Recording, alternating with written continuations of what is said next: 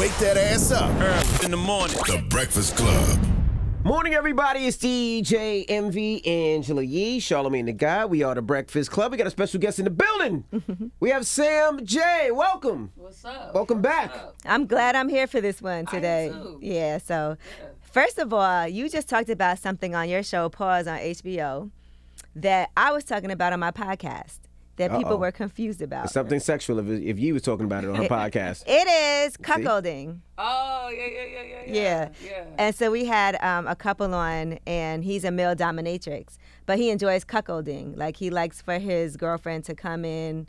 Uh, you know, he likes to watch her have sex with other men and all of that.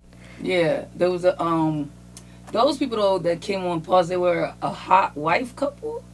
so he likes to, he likes to know his wife is having sex with other people, but he doesn't like to be like present. He want to see. Yeah, he don't want to like sit in the room, but he likes to like know that's happening and then like get the downloaded details after the fact.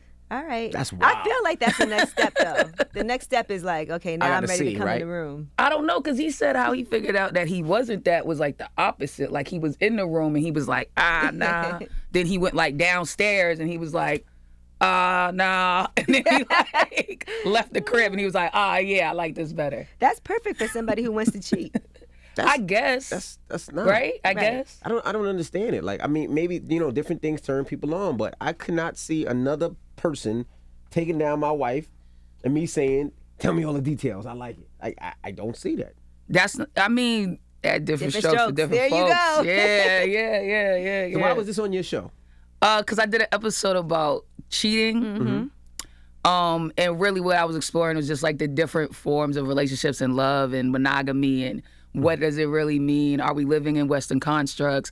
Are we putting ourselves in boxes? And so I was like, oh, what's like the ultimate form of like, I guess cheating, but not cheating? And I was like, it's kind of this. So I, I went and talked to them. Would you ever do that in your relationship? What a Cuckold? cuckold? Yes. Nah, I'm straight. I don't. I don't need that in my life. Mm-mm. What about But you? how did cheating affect your relationship? How did cheating affect my relationship? Uh, it kind of like ruined it for a while. You know what I mean? Did you cheat? Yeah, I did. I did, and I had to like do a lot of self reflection about why and what and what it was. And at first, I was kind of a jerk about it. Like, really, what's the big deal? You know, like kind of on that machismo joint of like, what's the big deal? I take care of you. Like, I don't really care about this person. Like, you know, I love you, but I had to mature to a place of like, it's about hurting another person and mm-hmm. like, Trust. if you, yeah, trust. And if you love someone, you can't be selfish and just indulge yourself without thinking about what it's doing to the person on the other side of You it. had such an interesting conversation about it on the show. It was funny to me because it's like all the things that guys say when they get caught cheating to kind of try to justify it mm-hmm. and explain it away without just saying, okay, Yeah. But it's tough because a little bit of it is 50 50. You do mm-hmm. honestly, truly feel that way. You, do, you know what I'm mm-hmm. saying? Like, you do feel that way. But it's kind of like you got to put that feeling on the shelf and go, I- I care about this person more than I care about that feeling. How'd you get caught? which time? Come on, bro. I mean, You already, you already, you know, it said you're sorry, apologize, and Come everything. so on, bro. She don't want to relive this over and over. Man, I just I was just being sloppy, bro. I wasn't I wasn't uh I wasn't on point. I wasn't on my pivot. I was moving crazy. All right. And you've been so busy. Like, just, I was looking at all the different things that you're, you're doing as a writer, creating shows, having all this uh, happening at one time. How do you balance that out? Because clearly, like, you have your own thing happening, but then you're also writing for other people, writing for SNL, writing on other shows. Well, I'm gone. I'm done with SNL. I've been gone for a while. Once I started Everybody pause, left. Once I started pause, I left. You know what I'm saying? To just kind of really focus on that. I just feel like I couldn't be in two places, and like pause was like my first, my own show, and I was like, I just want to like give everything to that. But I, I am on a lot of projects. I, I, it's not really hard to balance it because I'm doing things I like to do. You know what I mean? And I'm a person that just likes to stay busy. If I'm on vacation past four days, I'm like. Ah, hey, yeah, I'm kind of over this. Gotta Let me get get, back, yes, let right. me get back to work. You know what I'm saying? So it doesn't really, it doesn't feel overwhelming. So why the term pause? For people that don't know, I know you explained it last time. So for you know, usually when somebody says some quote unquote gay ish, they say mm-hmm. pause. Mm-hmm. So why the term pause? Uh, just to be a jerk. Mm-hmm. Honestly, we just was in the writers' room throwing out names, and I was like, "What if we call it pause? That might be funny." And everyone was like, "You think we could get away with that?" And I was like, "I don't think HBO knows what it means." They don't. and So they didn't know what it meant. and so I just picked it just to be a jerk. and you're in season two now. So how is Congrats. season two? You think different from season one for you? way more personal. Like you said, I did an episode about cheating. I did an episode about my brother going to jail. Mm-hmm. I just tried to, you know, kind of look inward this season rather than I feel like last season it was macro and like the world, and this season was like Sam and what's going on with me. Right. So now you, you say your brother goes to jail. So in your family, are you the go-to person when everybody needs money? Mm, kinda now, kinda, but I don't mind it. It sometimes gets on my nerves, but I like that I'm changing the legacy for my family, and I like that like. At least now everybody don't feel like they gotta struggle through something. You know what I'm saying? But it's a little different. Like if somebody wants, you know, needs something for the house, that's cool. When somebody get locked up, you be like, you know, Oh yeah, no, I don't answer those calls. oh, you don't answer those calls. All right, all right. Those are calls you don't answer. Your mama needs something. All right, mama, I got you. Yeah. It's Christmas. You need a little extra. You know, Your you car broke job. down, Car so- broke down. I help you. But I get locked up for doing some dumb shit. I don't answer those You on calls. your own. They know not to call me with that. Mm-hmm. You also had Kidd Kenn on the show. Yes, I love him. Me, I just had him on my podcast Oh, he's yesterday. great. Yeah, so I'm super excited for him. I want I want all the things. I know he has such a great personality. We were talking Yeah. about him too with our camera guy over here, Joey, Kid who works with us. Yeah, I like him. All right, and then um, as far as also addiction, that's something that was personal for you that you uh, Yeah. touched on as well. Yeah, yeah, yeah, yeah. This is uh this week, Friday. Mm-hmm. Um, Friday the um, addiction episode comes on. We talk about like I kind of explore am I addicted to alcohol because I've had a long relationship with alcohol, and I don't want to say where it lands, but it's just an exploration of what is addiction, how do we really define it, our relationship to things, and when is that relationship actually addictive? Not talking about yours because you want to talk about it on the show, but what do you call addictive? Because some people drink every day. Are they addicted to alcohol? Some people smoke every day. We actually talk about that on the show because I drink a lot. I probably drink every day, probably. You How know? many times? I don't know. I'm not counting. You but know in what I Europe, mean? they in Europe they have a glass of If you don't- wine. If you don't know how many, like every time I take a glass of wine before I I go to don't sleep, it calms me down. But if you say I don't know, I don't know, cause I mean I'm at the com. I go do a comedy show. I might have four or five drinks. If it's just like a chill, Four or Five five at a comedy show.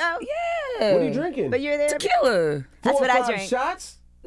No, like a drink, like a drink, like like on the rocks with an orange slice. You know what I mean? The orange slice. Four or five. Yeah, but I don't think I'm addicted. Yeah, but I'm. I know I'm not You know, people who are addicted, the first thing they say is, Is I'm not addicted. I know this is the whole thing we explore in the show. But I, I feel like I feel like addiction is like when you don't have control over it. when you miss work. 'Cause When people, you don't have mm-hmm. control over it and when it's controlling you, You right? do a comedy show without drinking. Yes, 100%. I have. I do. Mm-hmm. It happens. Not often. Not just out of college, because you know colleges they don't to look into college. Like that doesn't count. that Nah, doesn't count. it doesn't happen often, but I can and I do. Do I like it? No, I like drinking. I enjoy it. Is it like, am I drinking to escape something? No. I did at one point, you know what I'm saying? And I felt like that was, I was in a dangerous spot. And I stopped drinking for two years because I was like, I don't, I don't feel in control of this. And I don't you. feel like it's How were those two healthy years for me. How were those two years for you? great clarity you know my mom had passed away when i was 16 i was going through a lot and um i was escaping and i needed to take a minute to just feel stuff you know what i'm saying And what got you back to it if if two years you were off?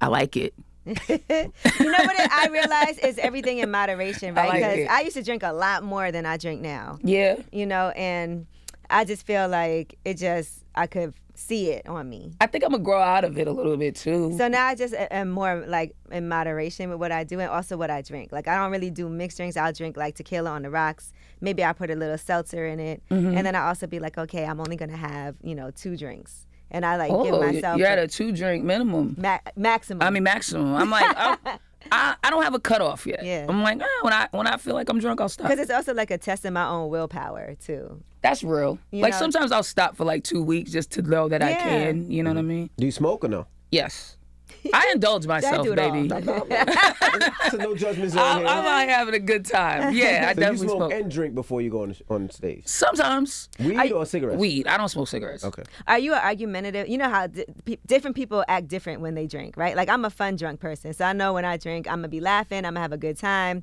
But some people get angry, some people Happy get drunk. sad. Happy drunk. I hate angry drunk people. I'm a happy drunk. If it's not making you happy, you shouldn't be doing it. right. If you're drinking sad, that's bad. That's what I say. They always say that you should drink when you're happy, not to get happy. That's what I'm saying. I'm I'm celebrating life. I'm I'm feeling good. what about shrooms? I do shrooms. Okay. Keep throwing them out. How often do you do shrooms? How often do you do shrooms? Ah, that's probably like a once, twice a month thing. Now, what does shrooms do to you? Mm, it's like a expansive high. I don't know. It just makes you appreciate the world. It makes you appreciate I life. don't know. 'cause I never had shrooms, but for some reason, it makes me feel like it's like you just want to touch the colors when I think of shrooms. Yeah, just I mean that's it. Kind of feels like that. It's like a super heightened like. I don't know, like you'll just be looking at a, a tree like, wow, God is good. You know what I mean? Like this is crazy. It depends. I so I've done shrooms um a few times, and I think that I, I always say this: you have to be in a good mood when you do it. Because if you're not in a good mood, it's gonna heighten a bad experience. If you're feeling bad, it's gonna make you feel. it can make you emotional. Yeah, but if you're feeling good, But it can also It's make you yeah, like if you feel good, like you it can make you sad, sad cry or super happy cry. I happy cry. Yeah, you know I what I happy mean? cry one time. I couldn't stop crying, but I was so happy. Yeah, I've, I've definitely had that. And I was like, on I wish I could write this down, but I'm not capable of doing that at this moment. I wanted to do it in Disney You should have did it. I don't know know if that's. it. I I think you kids, gotta though. be Now, you know someplace away from people. because the, first colors are there. So it's like you go into the thing and you're on the roller coasters and the colors. I just thought that would be amazing. It probably would have been super dope. But you should first time trip like in the woods or something. And not around a lot of people. Not around a lot of because you don't know how you're gonna react to it. How you know? long does it last? A few hours. Yeah. And, and when Two, it's three when it's over, it's like out of your system. You don't have like a feeling like you're hungover or oh, Or Nah, but you might doodle the next day. yeah, because it's like a poison in your stomach. Because it's stomach. poison in your stomach. and so your body's like fighting off the poison. Yeah, yeah, yeah. Some so people you'll might. It's like up. henny doodle. You know how you drink too much henny? watery. It's like a tequila shit. Goodness gracious. Now, how, what have you Wait, wait, learned? before, before you go oh. that way? Any any anything else you you, you tried? hey man, hey Throw it out there. Throw it out there. I'm just curious. I mean, I done, I do Molly sometimes. That's probably it. That's where I stop. Okay, good. Draw the we draw the line in Molly. Now, what are some things that you've learned where maybe you had a perception about a group of people and you changed your mind about them from the show? Because I know you had some Black Republicans, some conservatives on there as well. So what- yeah, the first season. I think this season actually it was the white dudes in the woods. I was really uh these woods, man. It's the second time you done mentioned these woods. What Hey, do white man. dudes in the woods do? uh, I was really shocked that they're, you know, I thought I was like, it's a whole episode about race and and I was like, you know, white dudes are like angry and like kind of spiraling out. I wondered like what's going on with them. And so we gathered a group of white dudes in the woods that I thought were kind of more radical than they were, and I just wasn't expecting the accountability that came out of them. Um, at one point in the conversation, you know, one of the dudes was like, "You could you could say you're not racist, but are you really not racist?" And it's like a daily thing you have to do of like checking yourself. If a black person cuts you off and you get angry, you have to ask yourself, "Where's this anger coming from?" and, and like really be conscious of it. Mm-hmm. And it, I just was really shocked to to hear them say that kind of stuff like out loud and you know i think they were shocked at how i felt as a person in america and i didn't think that bridge would happen that way Right. at all and i was really like i left the conversation like whoa this went in a whole nother direction than we thought it was going to go but it was a good thing i thought it was really great for the episode but it was it was very interesting to turn it to did you stay in touch with any of them? uh no uh no Just curious. no just you know for the moment you know what i mean I was gonna ask. You know, we had Tank up here the other day, and you know, Tank's doing comedy. Mm-hmm. So for, my first question before I ask you that one is, how do you feel with when you see people like Tank or your TIs or those type of people doing comedy? Because I don't care. I mean, I think some comics take offense to it because they're like, yo, they didn't like put the work in or or they just coming in and but I feel like comedy is such a like equalizer. The crowd's gonna tell you what it is, you know what I mean? Mm-hmm. And like I was talking to my homeboy about this the other day and I was like, I don't know if you if you're really like a comic mad about T.I. or it's like how? It's like I don't T.I. can't tell my jokes. I can't tell T.I.'s jokes. Correct. You know what I'm saying? So it, how are you stepping on my toes? Like running your lane? I don't. I don't care. now, what about what we also talked about? Think about his worst show. He said his worst show was in California, and he talked about being booed and Babyface was in the crowd. What was your worst show? Do you remember it? Worst. It's probably the first the first time I, I got up really in Boston. I got booed. I got booed like two seconds maybe into my set. Like I just started talking and someone from the back was just like, boo. Like, so it was like really hurtful because it was like, you don't even know I'm about to say. You mm. just don't approve of me like Right, as, a, person. Wow. I haven't even said nothing yet for real. And he was like, nah, I don't want to hear it. Did you did you continue on or you just Yeah, I'm here. No, I mean not, not I mean not there. I mean during that show. Oh, did Oh, nah, nah, nah, nah, nah, nah. I was like, yeah, we good on this. Now, do you have any regrets about being the SMDK? No, no, no, said no, what? no, no. She's a suck my dick kid. Yeah, no, no. What? That, Explain that. Break was it a down. badass I'm kid. and confused. you gotta watch the show. I know he I does. watched the show. Com- Break that down. You would suck my dick, kid. What the? You know, somebody was telling me that people from New York that women are so disrespectful and that we are always telling guys suck my dick. Yeah, yeah. Absolutely. Somebody was telling me that um it was OMB Peezy. He was like, Y'all over here, you act different. Like he was like he was arguing with a girl on the phone and she was like, Man, suck my dick. Yeah, yeah, yeah. I've been told that before. I was. Uh, it's an episode just about Somebody defiant. A celebrity actually told me that. just like your dick. Yeah, absolutely. Um, She still Oh. don't. She still don't speak to me. But go ahead. it's an episode about just defiant, defiant kid. I was just doing an episode about like I was a bad kid. I was like always, you know, confronting the teachers. I was, I was a suck my dick kid. Like you told me to do something, I was always like, why? No, you know what I mean? And just talking about that energy and where that energy could go, and when you become an adult, how that energy is a disservice to you. But you also have to find a place to put it, or you just become one of these people that are like screaming at people at the airport because you don't mm-hmm. want to put on your mm-hmm. mask. You know what I mean? I'm like, I don't know that those people are really on that as much as they just are defiant and haven't found an outlet. You know what I'm saying? Right. So it was just an episode about that. And no, I don't regret it. I think it it made me the person I am today. Right. Because you terrorized some of those teachers though. I definitely Yeah. did. That And I- was so that you was actually, goals. She actually had the teacher on that got slapped by an eight year old. right. And that was a crazy conversation. Like, what do you do when an eight year old, when you're a teacher and the student slaps you and Yeah. eight years old? yeah, he just took it. Uh, I don't know that I would have. I would have had to shake What him up or do? something. Because then shake him. teachers get in trouble You for stuff man, like 'cause that. It's camera phones now. I mean, that's the last day at work, I guess. And the funniest part is the kid was like, I, to- I warned you. I, Yeah, I told yeah. you. It's your own fault. It's your own fault. I told you if you to get him to get him. Yeah, that's what he was like. I Yeah. told you to tell him to shut up. so that's why you got smacked. Yeah, I got to shake you. that's yeah. wild. I got to shake you down, little one. Did your mama beat your ass as a kid since you were that? I didn't get beat a lot, but I remember the beatings I got. You know Mm-hmm. what I mean? I didn't get hit a lot. My mother wasn't really big on hitting, but a few times I got beat for sure. How do you feel the experience of writing for other people has um, helped you as a person now that has been developing your own shows and doing all of that? Like, did they come to you and say, "Look, we want you to do a show," or was this something that you said, "Okay, the ultimate goal for me is to have my own show"? Um, oh, I, I always hate these kind of questions because then you feel like you're like flexing. But no, they came to me. Um, Mm-hmm. That's and good. No, it that's was real. like we we like you and would you be interested in something like that? But it was also a goal of mine, so it was kind of working in tandem. You know what I'm saying? Uh, writing for people. I mean, especially being at SNL, I I don't think I would have been able to make my own show without that education. It's just. It was just so much that I learned there. Um, I never had written before I got that job, so I didn't know how to do any of that stuff. How did you get that job then? In that, I auditioned. I auditioned to be cast, and then they were like, "Hey, we really like you, but we just don't see where you fit on the cast. Do you want to write?" And I was like, "Sure." okay, Yeah, I mean, it's all good. I never even saw myself in the building, so it wasn't a huge rejection when they were like, "Eh, we don't know," because I didn't see myself on the cast personally. I was like, "I don't do improv. What am I gonna do?" okay, So it was like I really think writing was better for me, Mm-hmm. honestly, because I got to learn everything. And when you're on cast, I feel like you you're so into that that you kind of are into that. And I really got to be in the back and kind of learn a little bit how to produce, learn a little bit how to direct, learn how to write sketch. So I, I feel like I left with a lot of tools, and I'm, I'm grateful. You still like to write now for other people, or do you prefer to Um, keep things to yourself now? It depends on who it is. You know what I'm saying? Like I, I wrote on Che's show. That's my brother. I love writing with Che. So it was it was fun and cool. You know what I'm saying? It just depends on, on who it is. Mm-hmm. I don't like like writing for award shows or like kind of more of those tedious writing Right. Jobs. But if it's like some creative junk and I'm, I'm kicking it with my homies, I'm super down. How is it having your fiance on the show with you? Because now she's pretty famous from that. Sometimes it's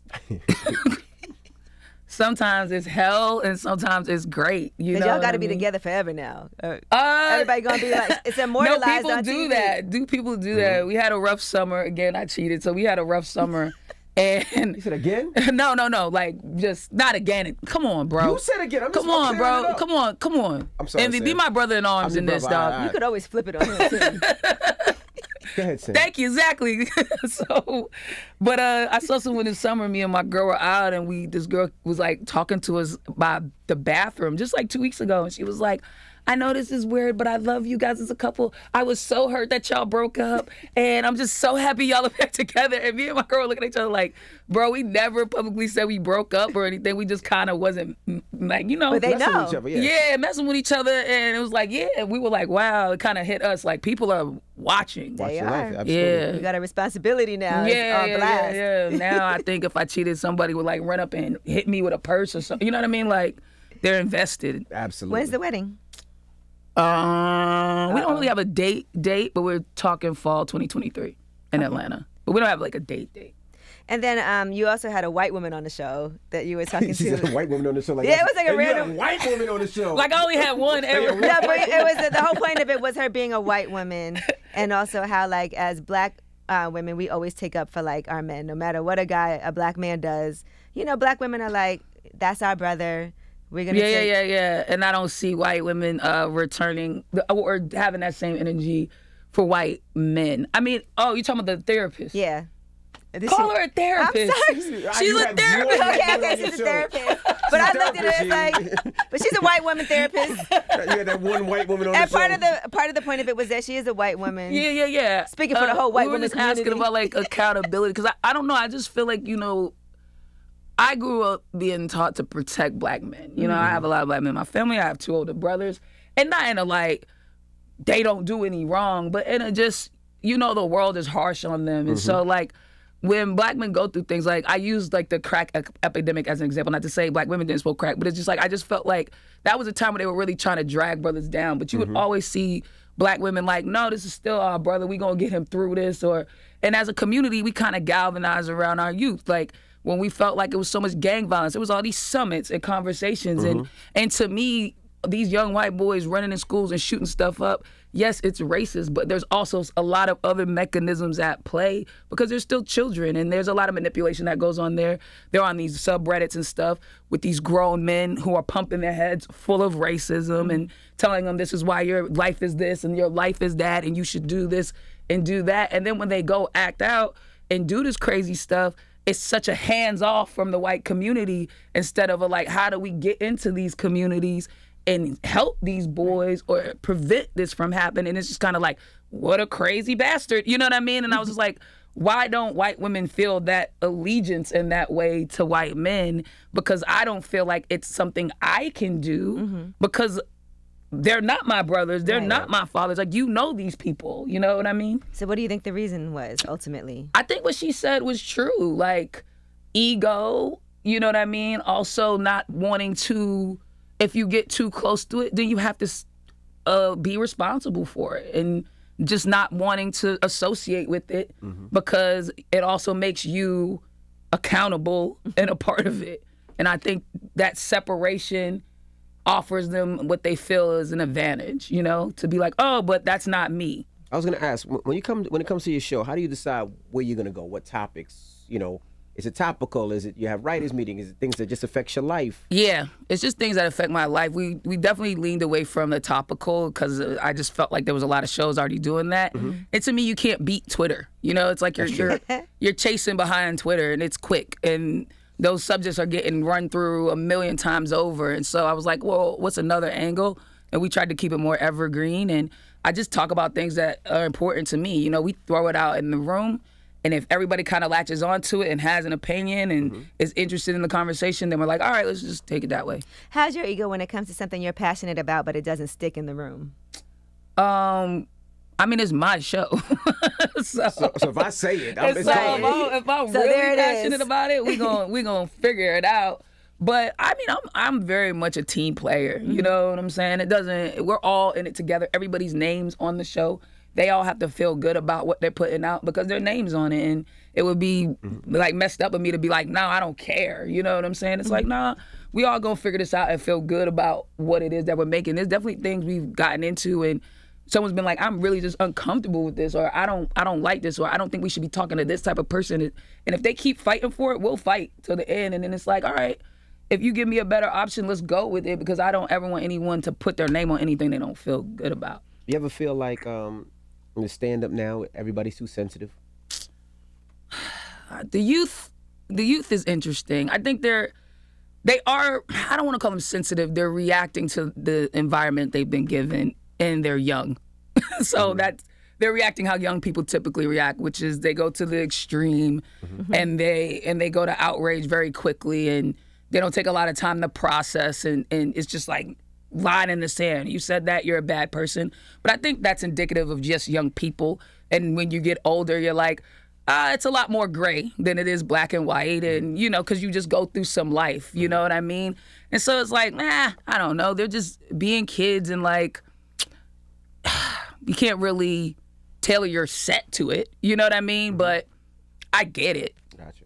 Right, because I feel like with our parents, what it was a different time when they were coming up and listening to comedy than it is than when we were coming up, and now these kids have a whole other different way that they operate. Yeah, and they're they're trying to change the world for the better for them. You know what I mean? Like they're just dealing with the problems that trickle down that we left. You know, mm-hmm. sexism, racism, and they're just trying to figure out their way. Yeah, because people will always say, "Oh, back then it was more, it was acceptable to do this, and times have changed, so now you can't do or say this." But I feel like in many ways, times have changed for the better, where people feel more empowered to speak out about things and uh, to feel like other people have experienced what they've experienced and that it's not right. Because there was a period of time when you just were like, I have to just deal with it. Yeah, this is what for the sure. world is like. If you want to be, I remember coming into the music business, they were like, look, you know, you have to be able to deal with guys are going to say crazy, inappropriate things mm-hmm. to you all the time. And if you can't deal with it, this isn't the business for you. Yeah, right. And it, and it's like a 50 50, right? Because I do believe some of that is the world. You do have to have a tough skin. Like, you can't control what people are going to do or say. You can only control yourself. But also, yeah, you got to fight for change, and there mm-hmm. should be some things in place so that like where crazy stuff isn't happening to folks. You know what yeah. I mean? And I don't know. It, it is a little bit like sometimes I do worry though, because I'm like, you can't make the world a perfect bubble, you know. No, and sometimes can't. it feels like that's what it, it's pushing towards. It's like, right. don't say this because this might hurt this person's feeling, mm-hmm. or like Lizzo having her uh, apologize for saying spaz and like we had a whole some of this stuff is just that. like some of this stuff is like bruh chill out. You know what I mean? And intention matters and like and that's my whole just blowing your top over like everything if she if she so meant reactive. to hurt somebody I get it. Yeah. But she's saying spaz like we always say she spazzed out. Like it wasn't yeah. it was, she wasn't trying to hurt anybody. No. term but well, no I, I said that... lame one time. I was like talking about something. I was like yeah that's lame. And I got so many messages like, you know, that's ableist. Lame is a word used to describe people who have one like a bum leg or. done. I was like, bro, no, we're not doing this today. like, get out of here with this. Like, you're still using the word. Of course, I don't care. I love it. Well, Sam Jay. Pause. HBO season two. When can they watch it? How can they watch it? Tell them. Uh, every Friday at 11 o'clock, right after Bill Maher on HBO. Mm-hmm. And then it goes up on HBO Max, and you can stream it whenever you want. That's but watch it Friday at 11. Look, I always, I'm never home at that time, but I always make sure I catch it on HBO Max and binge watch. But I will, if it matters more, try to watch it. I don't know that it does. does it, I don't know. Does it matter?